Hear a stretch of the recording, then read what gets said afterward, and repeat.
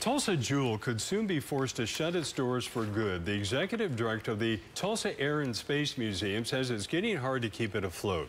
News Channel 8's Daniela Ibarra is live tonight with efforts from a lawmaker to save it. Daniela. Mark, every year the museum says 30,000 students walk through those front doors, and last year they say they had a shortfall of $30,000. Now a Tulsa lawmaker is hoping to help them save every penny. Through every exhibit, the Tulsa Air and Space Museum's mission is to honor the past and inspire the future. We're kind of the looking glass into the aviation industry for the teachers and the parents and the kids. They they come out here and they learn more about the, the jobs and careers that are available. You know, Executive Director Tanya Blansett says that future is in financial limbo. We've cut as many expenses as we can. Just to pay for utilities? Um, I'm very concerned about that. I've done a projection and it could be anywhere between fifteen to twenty thousand dollars extra in just our heating costs until May. So I'm I'm very worried about that.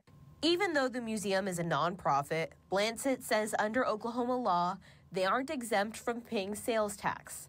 Every dollar counts towards keeping this Tulsa jewel shining bright. If things do not improve, it could be this year. I would say months. We got to keep that museum uh, in, and its presence in our community. State Representative John Waldron is proposing a bill to exempt the museum from paying state sales tax on purchases. This would allow them to purchase exhibits and other materials they needed, and this uh, measure, at a very small cost to the state, would be a big boost for that important institution. This bill um, it's not the fix all, but it sure definitely will help. Blansett says it could save them about twenty to twenty-five thousand a year. Every dollar is important to a nonprofit.